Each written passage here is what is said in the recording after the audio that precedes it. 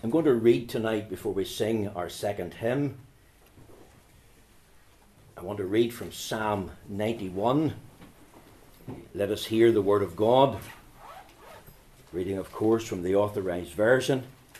Uh, Psalm 91 uh, was one of those psalms uh, that was sung uh, by um, the 36th Ulster Division as they left um, Helen's Tower in the Clandeboye estate uh, to make their way uh, towards the uh, Somme.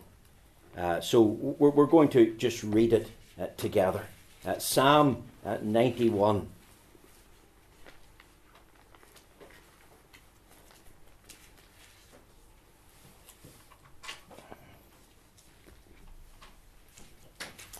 Psalm 91. He that dwelleth in the secret place of the Most High shall abide under the shadow of the Almighty.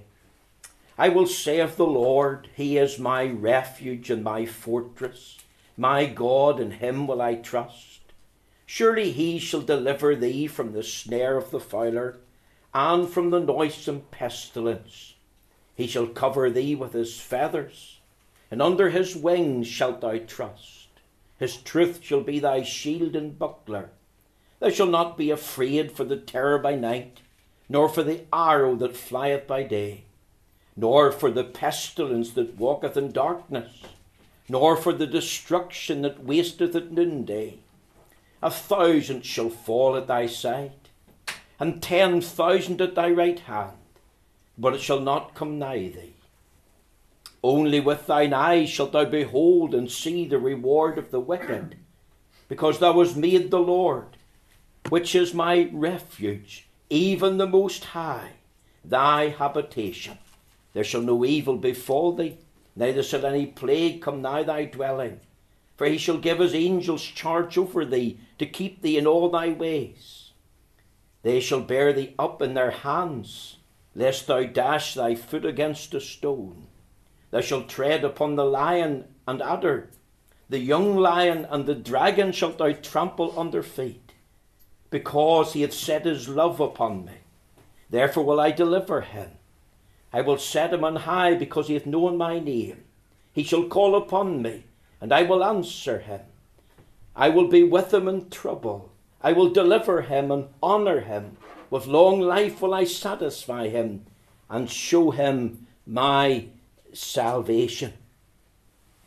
And in John chapter 15, verse 13, we read, Greater love hath no man than this, than a man lay down his life for his friends. Ye are my friends, if you do whatsoever I command you. Henceforth I call you not servants, for the servant knoweth not what his Lord doeth. But I have called you friends, for all things that I have heard of my Father I have made known unto you. Amen. We know that God will stamp with his own approval and blessing these readings from the Holy Scriptures. Well, just before we have our act of remembrance, I want to just read a further passage of Scripture at this time from the book of Romans. I'm going to read from Romans chapter 5. Familiar words. Words that I've no doubt were read by chaplains of the armed forces before the Battle of the Somme. Romans chapter 5 and verse 6. For when we were yet without strength, in due time Christ died for the ungodly. For scarcely for a righteous man will one die. Yet peradventure for a good man some would even dare to die. But God commended his love toward us in that while we were yet sinners, Christ died for us. Much more then, being now justified by his blood, we shall be saved from wrath through him. For if when we were enemies, we were reconciled to God by the death of his Son, much more being reconciled, we shall be saved by his life. And not only so, but we also joy in God through our Lord Jesus Christ, by whom we have now received the atonement. Amen. And the reading there at verse 11. Could I just ask that the congregation stands for a moment? Our brother uh, William Smith, who was a member of the Royal Navy, is going to come and, on our behalf, he's going to pin the wreath on a board as a symbol of our remembrance uh, of those that have fallen, especially during this uh, centenary of the Somme.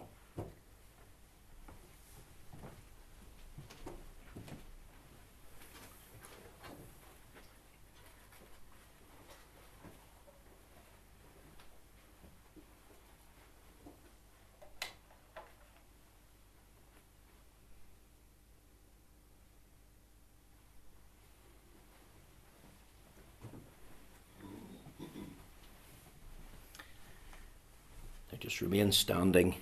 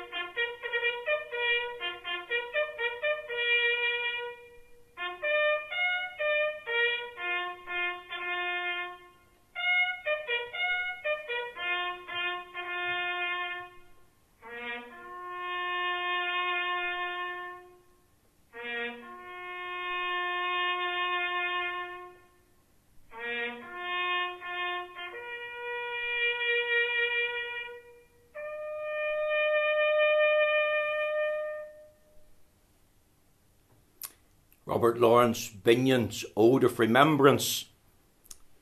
They shall not grow old, as we that are left grow old. Age shall not weary them, nor the years condemn. At the going down of the sun, and in the morning, we will remember them. We will remember them.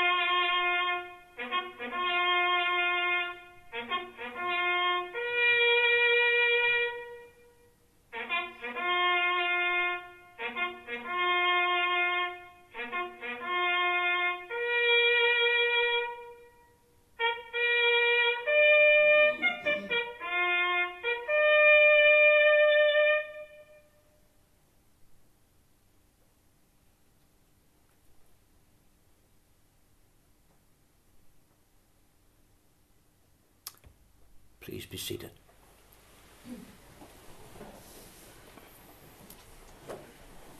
Now let's turn in our Bibles just to one verse of Scripture. And that verse is taken from Job chapter 41. And it's in the verse 8.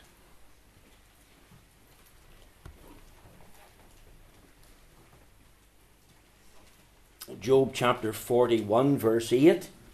And before someone reminds me, I'll tell you, yes, two years ago in 19 uh, uh, or 2014, in the anniversary of the start of World War One, uh, I, I, made reference to this uh, text.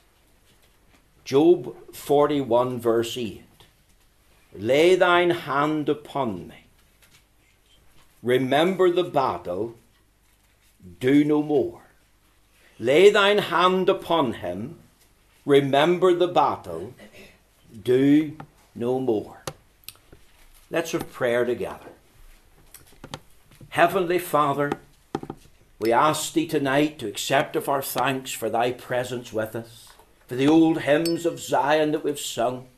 And we've sung them, O God, by way of praise unto Thee, but we've sung them mindful of those especially who were heading to the Somme on the 1st of July, sung them. And O God, we thank Thee for these words of Scripture that we have read. And Lord, we're conscious that soldiers who are preparing for battle also heard them read in their hearing. Lord, we want to thank Thee even for the wreath that our brother William, uh, who served in the Royal Navy, has attached on the board. And, O God, we do so by way of remembering all of the fallen during the war. World War One, World War Two, subsequent wars since, and even before that. And oh God, we thank Thee especially for the sacrifice of the fallen uh, during the Battle of the Somme. And in this centenary, Lord, in this hundredth anniversary year, we pray that Thou will come strangely near and we ask thee that thou will help us to do as thou hast said. Remember the battle.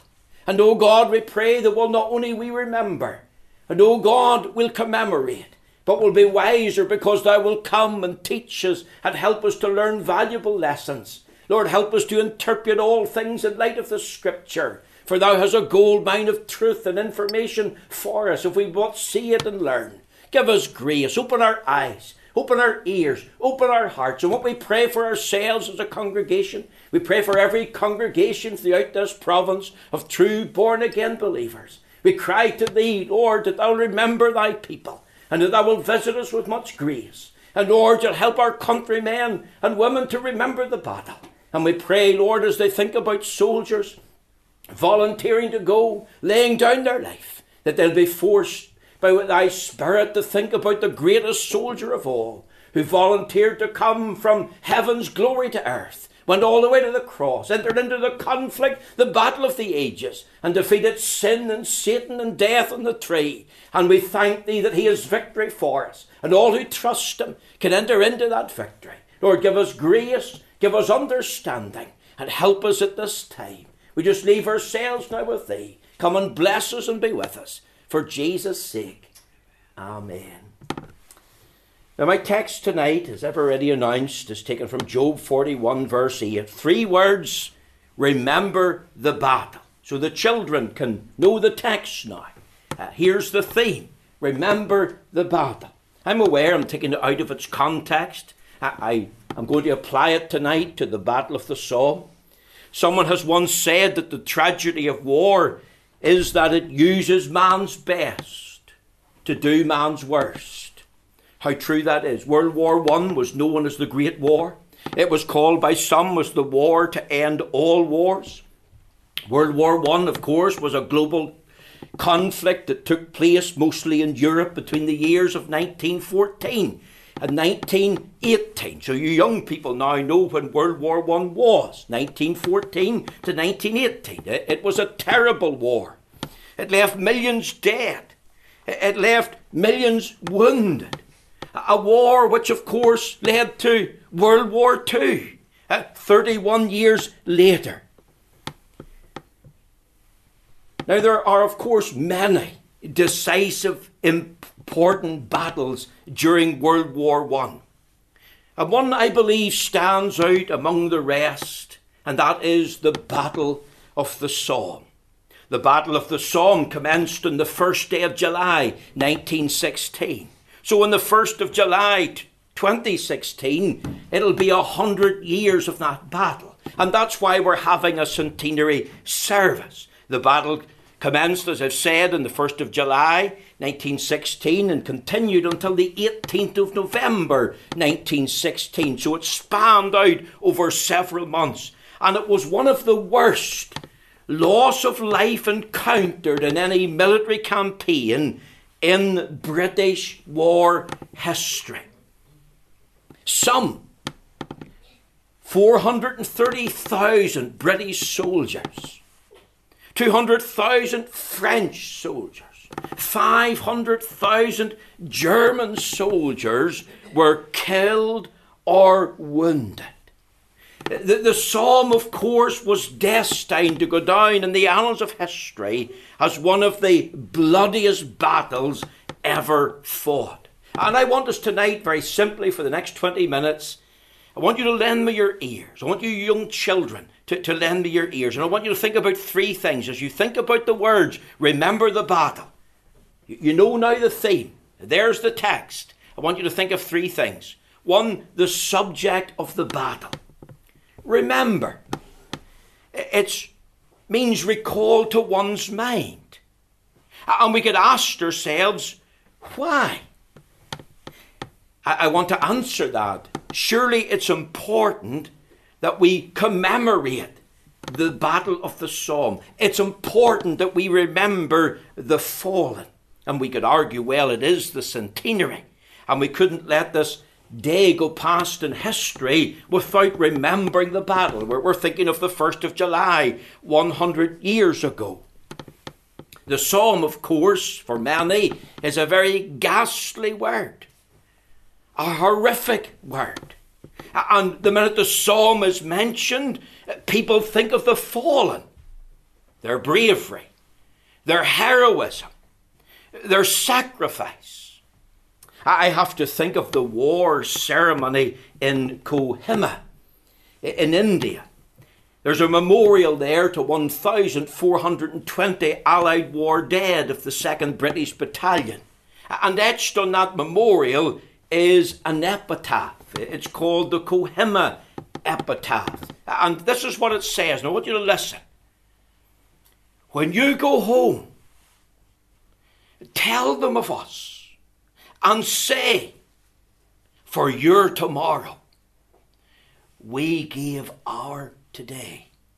You see, today we enjoy freedom.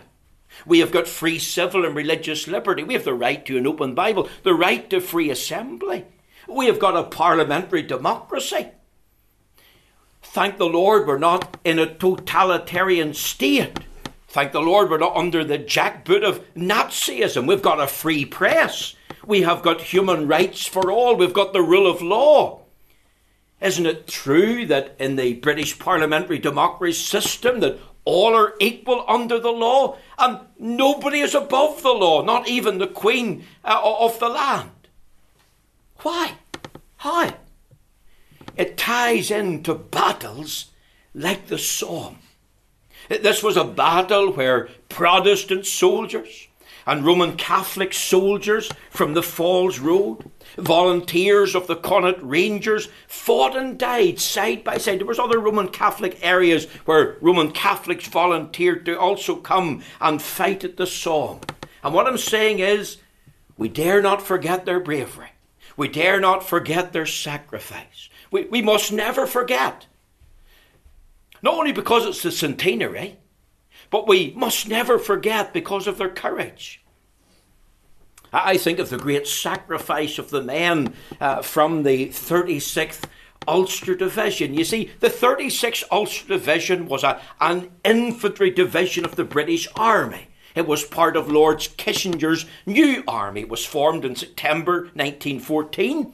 It was originally called the Ulster Division and it was made up of members of the Ulster Volunteer Force who formed 13 additional battalions for three existing regiments the Royal Irish Fusiliers, the Royal Irish Rifles, and the Royal Inniskilling Fusiliers. And on the 1st of July 1916, when the bugle sounded, 7:30 a.m. in the morning, the 36th Ulster Division advanced out of their trenches these men went over the top. They cried, No surrender. They rushed the German lines. And at the end of the day, the first day, they had reached their objective. In fact, the only part of the British Army to reach their objective that day. And it came at a dreadful cost. Do you know on that first day, there was 2,069 Ulster men from the 36th Ulster Division were dead. They gave their lives in sacrifice and freedom. On the second day, some 5,500 officers and enlisted men were dead, missing, or wounded. And a war correspondent of the time, Philip Gibbs, said, and I quote, It was the finest display of human courage in the whole of the world that he had ever seen. Do you know when men left Northern Ireland the last sight that they had was Helen's Tower, the Clandeboye estate. That's where they trained from 1914. You can think of them leaving their home, saying goodbye to mummy, sister, saying goodbye to dad, leaving their friends, their jobs, their livelihood, and they're going off to fight. The last sight they have is of Helen's Tower. In Thiepval in France to this day there stands the Ulster Memorial Tower. It was unveiled by Field Marshal Sir Henry Wilson. Lord Carson was ill. And it was unveiled in indebtedness to the contribution of the 36th Ulster Division. And it's an exact replica of Helen's Tower in Clandeboye Estate. Now, all this is relevant to us. This is not just dry history. You, you think of it tonight our fellow countrymen from this wee province, from, from wee Northern Ireland. 5,500 officers, enlisted men died, missing, or wounded at the Somme. I'm passionate about it because one of them was my granduncle, a man by the name of Thomas McFall from Bushmills. Why remember the Somme? Here's the subject of the battle because it's the centenary, it's the right thing to do. We remember it because of their courage and sacrifice, their bravery. And we also remember it because it's commanded by God in the Bible. Remember the battle. Recall it to mind. You see, the battle has important lessons for us. God would want us to learn about the horrors of war. And I want to tell you, war is a dreadful thing. War should never be entered into lightly or half heartedly. War is a terrible scourge of any country or society. War brings home not only its horrors, but the, the certainty of death, because when people go to fight, they'll die. It brings home the brevity of life. Young men in their flower cut down their life is gone. It values the preciousness of life. We, we heard this morning on the snippet on the radio of a woman who had four sons from Belfast who went off to fight at the Somme. And she got news that all four were dead. A mother losing four sons. Then it turned out one of them was just wounded and eventually came home. But he had lost his three brothers. You see, in the 1st of July, there was a total of 19,240 British war dead in one day. It was the most bloodiest day in the British military history. Did you know there was only 8,000 dead at Waterloo? There was only 4,000 died in the D-Day landings at Normandy. And out of that 19,240 British war dead, 500, or sorry, 5,500 were Ulster men. There was hardly a home in this province not affected. Every town, every village was affected. In Belfast, there was 18,000 or 1,800 volunteers dead. In Newtownards and Bangor, there was 1,500. In Ballyclare, there was 30. In Bushmills, I don't actually know the number, but I know that Thomas McFall was, was among them. I know that Robert Quigg was another. 1916, the 12th of July was cancelled. There was five minutes of silence throughout the province. The whole country was in shock. You see, it's good to remember. It's the centenary after all. We remember their courage and their sacrifice. We remember this command because there's lessons for us. Think of this Kohima epitaph. When you go home, Tell them of us and say for your tomorrow, we give our today. I want you to think, secondly, the soldiers of the battle. Let's focus for a moment on the makeup of the 36th Ulster Division. 13 battalions brought into three regiments the Royal Irish Fusiliers, the Royal Irish Rifles, the Royal Irish Fusiliers. All volunteers. Not forced, not bribed, not coerced, not conscripted against their will. They volunteered as free men. They died as free men. They were the men, of course, of the early Ulster volunteer force. They engaged the enemy voluntarily. They went over the top. As I've told you, they cried, No surrender. They, they, they rushed the German machine guns. Many of them, of course, were, were cut down as they run forward. But men who gave themselves for the cause of freedom, the cause of truth and righteousness. As I've told you, 2,069 died in that first day. 5,500 on day two. That was the total. They gave their lives voluntarily. They gave them sacrificially. I want you to think of this a sacrifice by a volunteer, a, a voluntary sacrifice of themselves.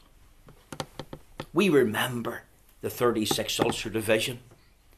We also remember the 10th Irish Division and the 16th Irish Division, Protestant, Roman Catholic from the Falls Road and other parts of Belfast, side by side, all facing the enemy as volunteers.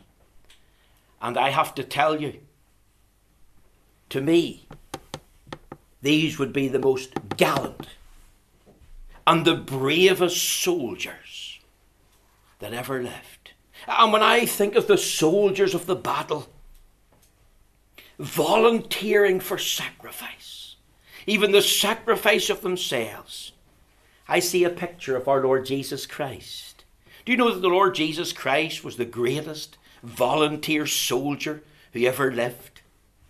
Didn't he volunteer to come into the world? Didn't he volunteer to take human nature to take a human body? Didn't he volunteer to come and live a sinless life? Volunteer to come and die? Doesn't the Bible say in Philippians 2 and 7 that he was obedient unto death? Volunteer to fight in a battle, the battle of ages, a, a battle not against a physical enemy, a battle not against Germans or any other nationality, but a battle against sin and against Satan. Remember, the Lord Jesus was a sinless man. He never sinned in thought and word and deed. He came into this world so he could enter the battlefield at Mount Calvary. And I just want to point out, he came as a volunteer. How, do I know that?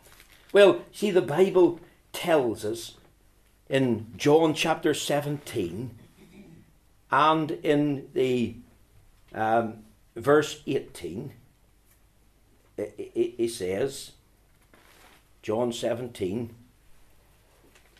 sorry, it's John 10, verse 17.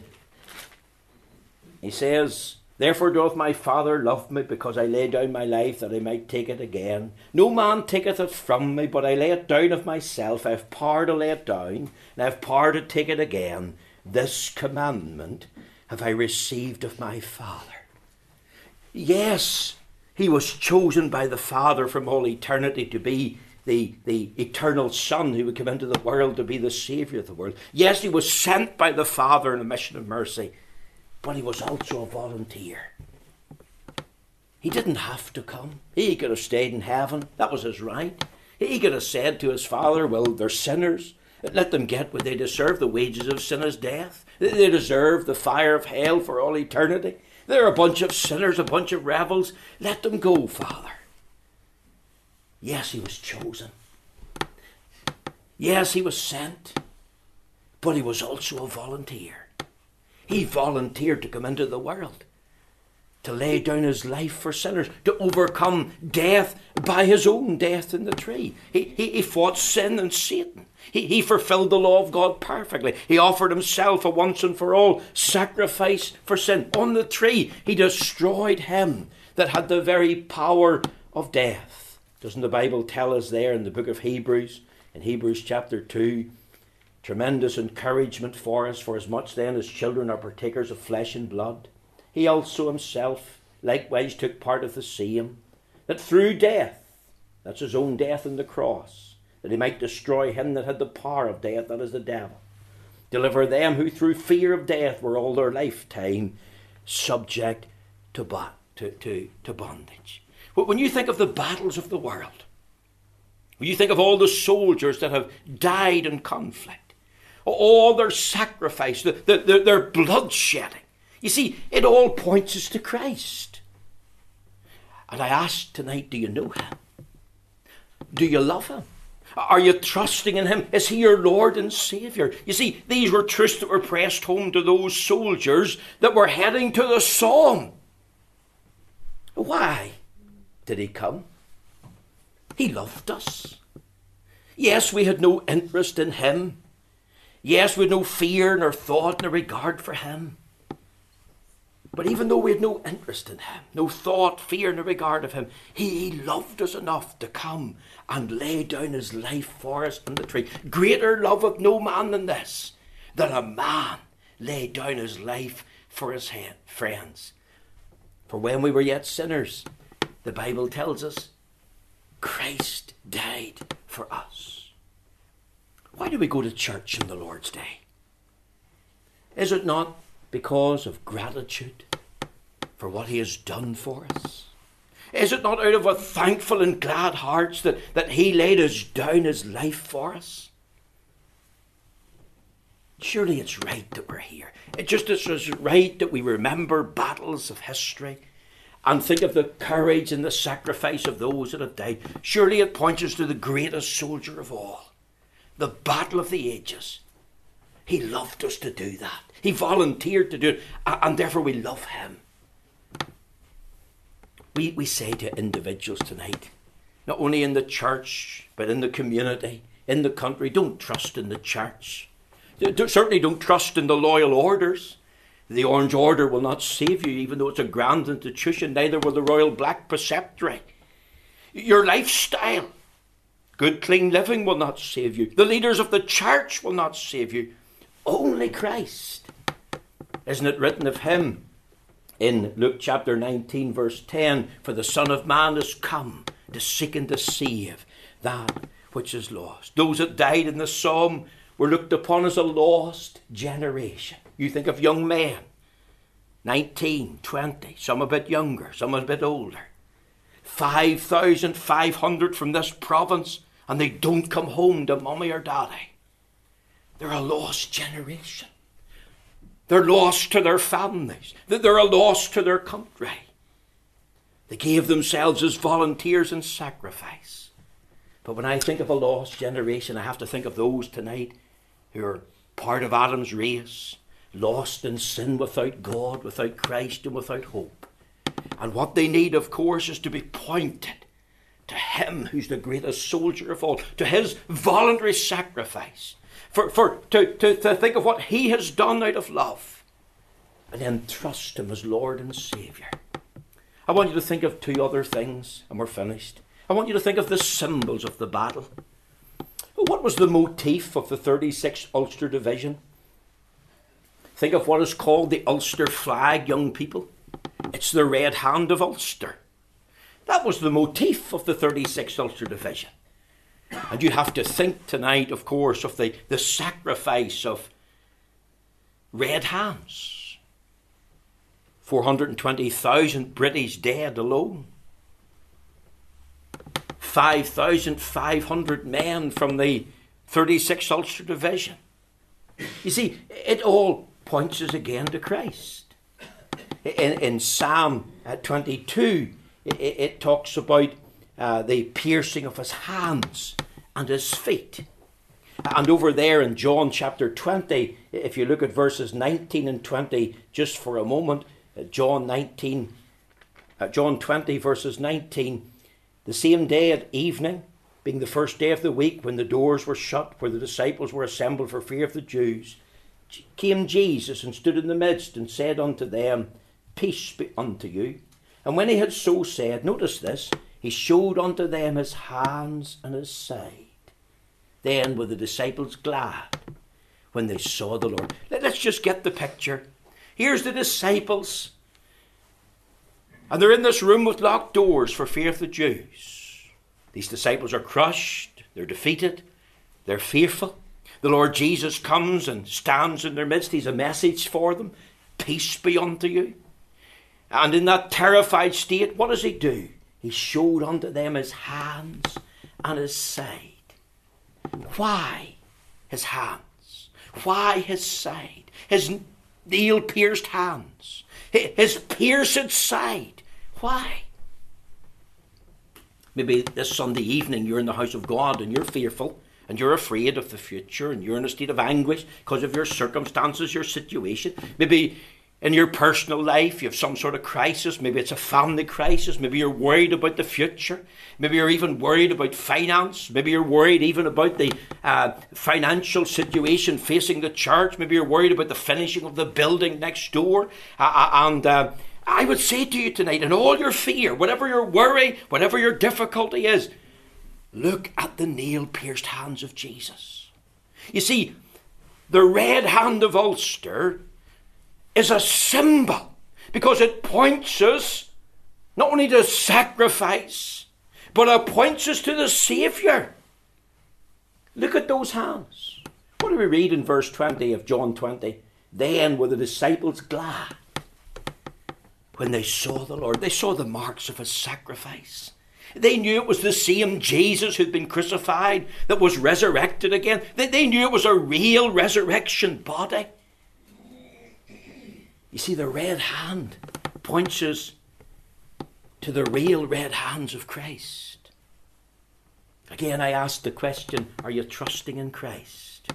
A Roman Catholic priest was visiting in the hospital on one occasion he was going around various people and he was wanting to pray with them. He was wanting to talk to them about the forgiveness of sins. And he came over to this man and he started to talk to him and he said he would like to pray with him. And the man says to him, now the man, of course, wasn't a Roman Catholic, but the priest didn't know that. He was a true believer. You know what he said? Show me your hands. So the, the priest did as he was bidden. And then the man said, Sir, I'm sorry, but you're not my priest. You can't forgive my sins because my priest has nail prints in his hands. You see, we can go directly to Christ, for there's one God and one mediator between God and man, the man Christ Jesus, the man with the red hands. Don't only think of the, the uh, uh, motif in the symbolism, but, but think of the memorial to the 36th Ulster Division. I've already made reference to the Ulster Tower in Thiepval. It's a memorial to the fallen. You can visit that tower. I have never been to Thiepval in France. I would love to have went this year, but I, I will go at some time. I'm told it's a very moving, memorable experience. What do you think of the memorial? What is it? It's the Ulster Tower in Thiepval. And it was to commemorate the fallen at the Somme, the 36th Ulster Division. And then let's think of words like Psalm 18, verse 2 The Lord is my high tower. The psalmist was telling us that the Lord has eight things to him, and the last thing he mentions is, He's my high tower. Eighth in biblical numerics, according to the late Dr. Paisley, always speaks of a new beginning. It's Proverbs 17 and 10 The name of the Lord is a strong tower, the righteous runneth into it and are safe. You see, the tower is a symbol of strength. It's a place of security and safety. It's a place where there's satisfaction and rest. And you see, every person that's redeemed tonight who's trusting in those uh, man with the, the red pierced hands has the Lord as his tower, his high tower, and he's safe forever from the ravages of the enemy. He's safe forever from the fiery darts of the enemy. The name of the Lord is a strong tower. The righteous runneth into it. There's the people, the righteous, those that are saved. What do they do? When the enemy comes with his accusations, with his fiery darts, when the enemy comes to attack him, and the devil, of course, is the accuser of the brethren, the righteous runneth in to this tower. I would say to you tonight, think of this memorial and ask yourself, in my mind, have I got a memorial to salvation? Because the name of the Lord is a strong and high tower for me. You know, on that first day of the Battle of the Somme, before the battle commenced, there was five days of artillery bombardment on the German lines. 1.7 million shells were dropped. Mines were detonated. It was believed that the German front lines had been destroyed. The tragedy was that despite the arterial, artillery bombardment, despite the mine de- detonations going off, it didn't work. The Germans were still there. The men that come over the top shouting no surrender were full of confidence that the Germans' lines had been destroyed. And what a rude awakening in that first day. Men got over the top with full confidence, and yet it was false. With a false hope that the German enemy had been destroyed. We could really say they were victims of wrong information. And how many are prepared to go out into God's eternity? The victims of wrong information. Who or what are you trusting in? Think of these symbols the red hand motif, the memorial, are you trusting in the Lord? Do you know the red hand in reality? Do you know that the Lord is a high and strong tower for his people? And no matter what the enemy does, that is a safe place, the only place, the secure place for the true child of God. Don't be a victim of wrong information. I trust and pray this evening that you will remember the battle, especially the Somme. You young people will want to learn more. You can listen again to the sermon if you want to uh, on the internet. It'll be there. And we would encourage you to do that. Let's learn from our history. And let's decide to be soldiers of the cross, no matter what happens now or in the future. May the Lord take these few words and bless them too.